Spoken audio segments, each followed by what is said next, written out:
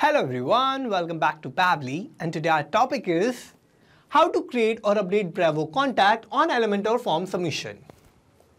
So here I'm running an online retail business and for my business I have already created an Elementor form for my subscription of my business. So here what I want to do is that whenever I'm going to receive a new form submission through Elementor form for the subscription, that automatically by using that detail of that form submission, I want to create or update a new contact in my Brevo account so that I can send some personalized email with promotions and marketing offers to all my contacts. So here I want to do this automatically and for that what I want to do is I want to build a connection between Elementor and Brevo. So for building this connection, I'm going to use Pabbly Connect. So Pabbly Connect is an amazing software for automation and integration. Now with Pabbly Connect, whenever I'm going to receive a new form submission through Elementor form, then automatically I will either create or update an existing contact in my Brevo account. So how I'm going to build this connection? For that, let me take you to my computer screen. I hope all you can see my computer screen. And today we are going to see that how we can create or update Brevo contact on Elementor form submission. So as a owner of an online retail business, I can enhance my customer engagement by linking my Elementor form with Brevo. And now whenever a customer submits their information through my site's contact or subscription form, the details are automatically created or updated in Brevo. So this will be ensuring that I have the latest contact information to send personalized promotions and updates. And by streamlining this process, I can focus more on growing my business and less on manual data entry. So here what I want to do is I want to connect Elementor form with Brevo and now with this connection what I want to do is that automatically whenever I'm going to receive a new form submission through Elementor form then with all the detail of that form submission I will either create a new contact or I will update the existing contact in my Brevo account. So here I want all this to happen automatically and for that I need to build this connection without any coding and programming skills just with the help of Pabbly Connect and I need to set up an automation between Elementor form and Brevo. So here I'm going to use Pabbly Connect for building this connection and this automation. And for using Pabbly Connect, I need to open a new tab and I need to search for pabbly.com slash connect in my browser. And it will take us to this landing page of Pabbly Connect. Now here in the landing page, I have these two options of sign in and sign up for free. If you don't have any account with Pabbly Connect, then you can just click on this sign up for free button and it will take only 2 minutes of your time and you will get 100 free tasks every month. Or if you already have an account or you are an existing user, then you can just click on sign in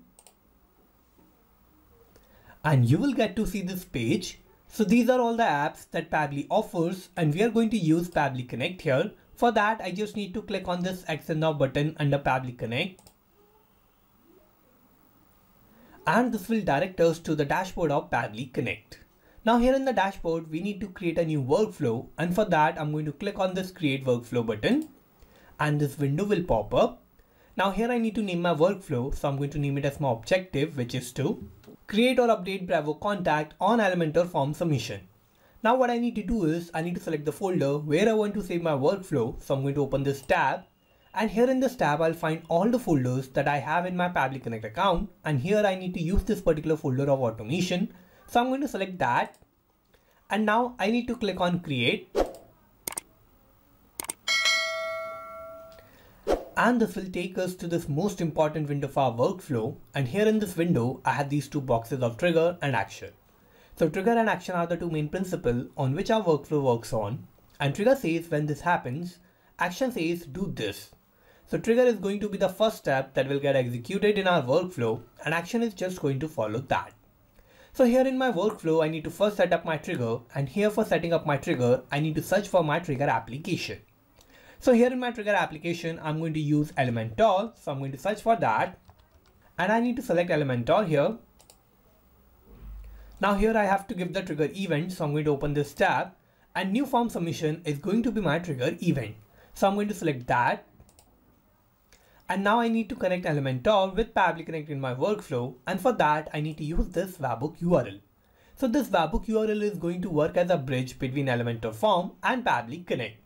Now with this webhook URL, what is going to happen is that whenever I'm going to get a new form submission through my Elementor form, then automatically the detail of that form submission will be sent here in Pabbly Connect. Now here for connecting these two applications, I need to follow all these instructions And first I need to copy this webhook URL.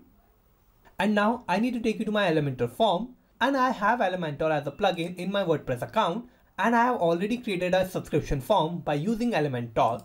So this is my subscription form that I created in WordPress by using Elementor. Now here what I need to do is I need to connect this form with Pabbly Connect so that I can get all the detail of the form submission in Pabbly Connect. So here for connecting this form, I need to click on this pencil icon button and here I need to scroll down and in this I have this option of actions after submit. So I need to open this tab and here in this tab I need to add my action so here I need to search for my action and here my action is going to be webhook. So I need to search for that and I need to select that or I need to add that as my action. Now that I have added my action, I have this new tab of webhook. So I need to open this tab and here in this tab, I have this option of webhook URL. So here in the place of webhook URL, I need to add my webhook URL that I've copied from Pabbly Connect. So I'm going to paste that here and I have added my webhook URL successfully. Now what I need to do is that I have filled all the required details. I need to save all the changes. So I'm going to click on publish. And here I have successfully added my webhook and I have connected this form with Pabbly Connect. Now that I have added my webhook, I'm going to take you back to Pabbly Connect. And here in Pabbly Connect, we can see it is waiting for webhook response. So for getting this webhook response, I need to create a new sample submission or I need to create a test submission. So here for getting this webhook response, what I need to do is I need to create a new form submission by using my Elementor form. And as I will create a new form submission, then automatically I'm going to get that response here in Pabbly Connect. So for getting this webhook response, I'm going to take you to my Elementor form. And now what I'm going to do is I'm going to preview this form. And here this is my subscription form. Now what I'm going to do is I'm going to create a new subscription by filling out this form and I need to fill all the detail of my subscriber. So here I have to give the first name and here my first name is going to be John. I'm going to give the last name that is going to be Doe. I have to give the email and that will be johndoe at the rate Now I have given my email address so I'm going to give the random mobile number. Now I have added the mobile number. I'm also going to give the city that is going to be Bhopal. Now I have added all the required detail of my subscriber. Now I'm going to click on send. And here I have successfully created this new form submission. And as I've created the submission, I'm going to take you back to Pabbly Connect. And here we can see as I've created a new form submission, I have received all these detail of my form submission here in Pabbly Connect. So here I have all these detail of my form submission and I have the detail of my subscriber. So I have the first name that is John, I have the last name that is Doe, I have the random mobile number of my subscriber. Also I have the email address that is johndoe at the rate and I have the city that is Bhopal. So here we can see I have received all these details of my form submission and my subscriber from my Elementor form. And now that every time I'm going to receive a new form submission through my Elementor form, then I'm going to get that response here in Pabbly Connect. Now here I have received all these details of my form submission. Now what I want to do is I want to automatically use all these details and by using these details I want to create a new contact in Brevo or I need to update the existing contact. So if this contact will exist in my Brevo account then automatically I want to update that and if that contact does not exist, then I want to create a new contact in Brevo. So for doing this automatically, what I need to do is I need to set up my action tab. And here my action application is going to be Brevo. So I'm going to search for that. And I need to select Brevo here. Now I'm going to give my action event. So I'm going to open this tab. And here create or update contact is going to be my action event. So I'm going to select this. And I'm going to connect Brevo with Pabbly Connect in my workflow. So I'm going to click on connect. I will click on add new connection. And for connecting Brevo with Pabbly Connect, I need to give a domain and the API key. So here my domain is already filled and now I need to give my API key.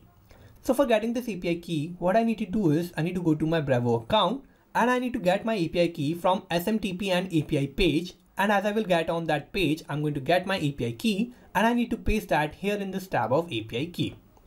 So as I have already logged into my Brevo account in my browser, so I can directly open this hyperlink by clicking on this button. And it will take me to SMTP and API page. And here what I need to do is I need to create a new API key.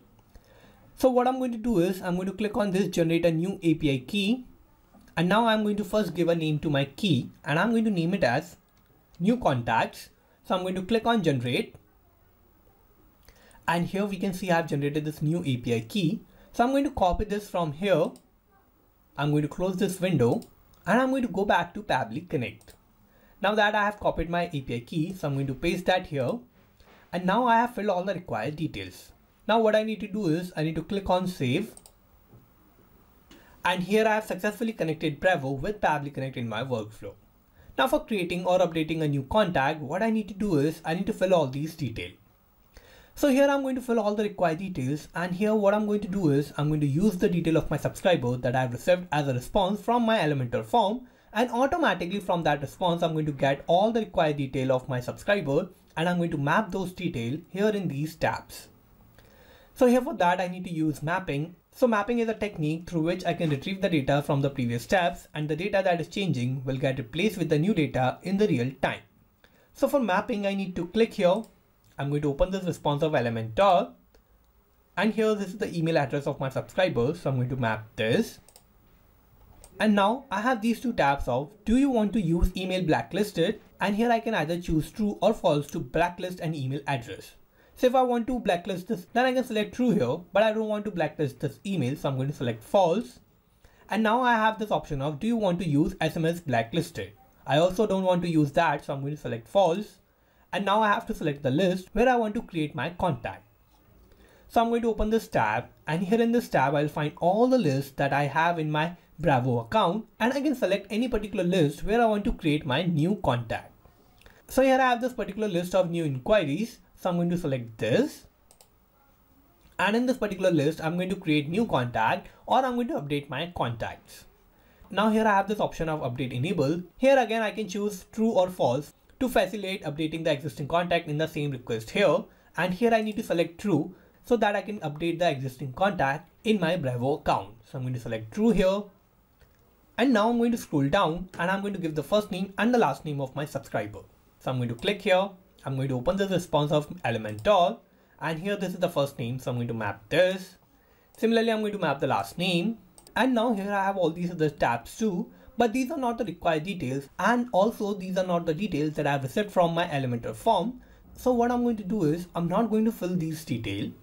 I'm only going to use the details that I've received from my response of Elementor form submission and I have mapped those details here in these tabs.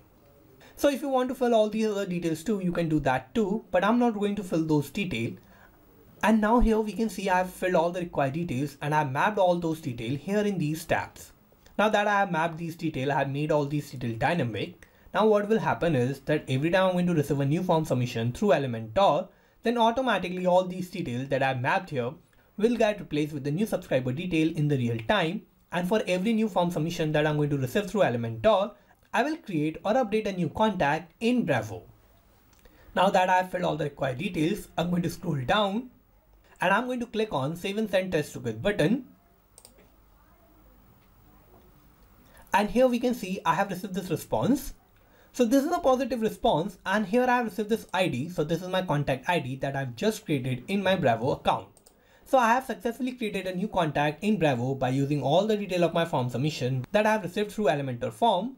And now to check whether I've created a new contact or not, let me take you to Brevo. Now here in Brevo, I'm going to go to contacts. And here in contacts, we can see I have just created this new contact that is named as John Doe I have the first name that is John, I have the last name that is Doe, and I'm going to open this contact. And here in this contact, we can see I have received this new email address that is johndoe at the rate pabblytudes.com. So here I have successfully created this new contact in Brevo and I have created this contact automatically by setting up this automation between Elementor and Brevo. So here I have created this contact by using all the detail of my Elementor form submission that I have received through my subscription form from Elementor and as I've received all those details, I have automatically created a new contact in Brevo. Now here I have successfully created this automation between Elementor and Brevo and now with every new form submission that we are going to receive through Elementor, it will automatically create or update a new contact in Brevo with all the detail of the new form submission. So here I've created this automation and this connection between Elementor and Brevo with the help of Pabbly Connect. So let me take you to Pabbly Connect so here with Pabbly Connect, I have connected Elementor and Brevo to automatically create or update Brevo contact on Elementor form submission. So let's summarize what we did here. So first I have set up my trigger and my trigger application was Elementor and my trigger event was new form submission. Then I have set up my actions tab and my action application was Brevo and my action event was create or update contact.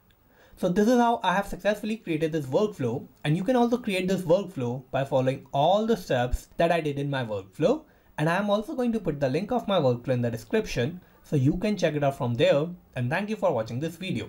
Not just these applications, you can automate and integrate a lot more applications like this with Pabbly Connect. If you want to reach out to us, then you can email us at support at the ratepabbly.com. If you have any issues or queries related to our workflow, then you can check the forum link. And if you have any issues related to the pricing of Pabbly Connect or Pabbly, then you can check out this link. If you like this video, please like, share and subscribe to our channel.